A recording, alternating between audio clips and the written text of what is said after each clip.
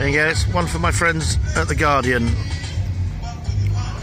who always responded to my mum's emails. Here we are at Sir, Sir Vivian Richards, Sir Viv Richards Stadium.